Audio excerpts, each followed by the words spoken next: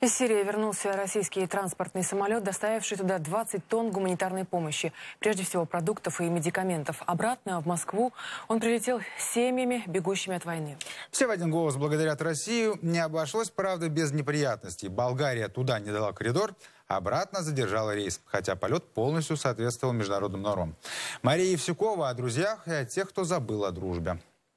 Доброе дело делаем, правильно делаем. Крепким рукопожатием сирийская сторона встречает гостей из России. Спецборд МЧС прибыл в Латакию.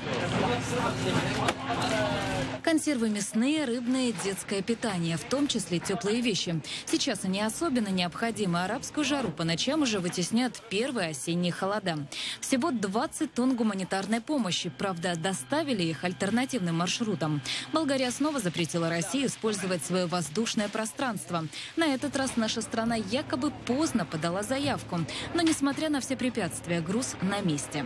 Мы с удовольствием передаем эту маленькую помощь и просим рассматривать и губернатора, и всех наших сирийских друзей. Это как помощь всего российского народа, как население России, как частичка души каждого российского человека. За полтора года сирийские беженцы получили более 900 тонн гуманитарной помощи из России. В этот раз, доставив груз в Латакию, Ил-76 забрал 56 человек, пожелавших покинуть зону вооруженного конфликта. Было хорошо и спокойно, но из-за этой, что творится сейчас, конечно, много уехали сюда.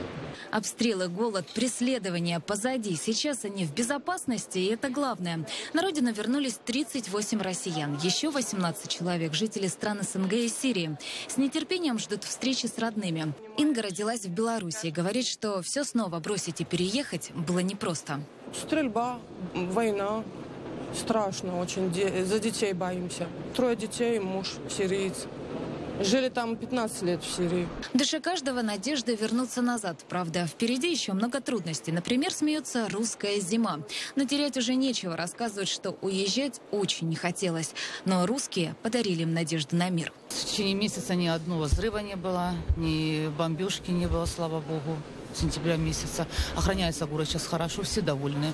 И не только мы, но и арабы очень довольны, и везде встречают очень хорошо русских. Впрочем, братья болгары отличились и на обратном пути. Достаточно много детей.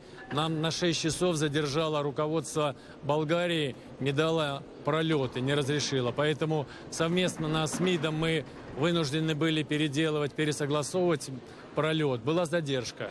Но у нас были врачи, психологи, мы обеспечили питание. Всего за время конфликта в Сирии оттуда самолетами МЧС России вывезли уже полторы тысячи человек.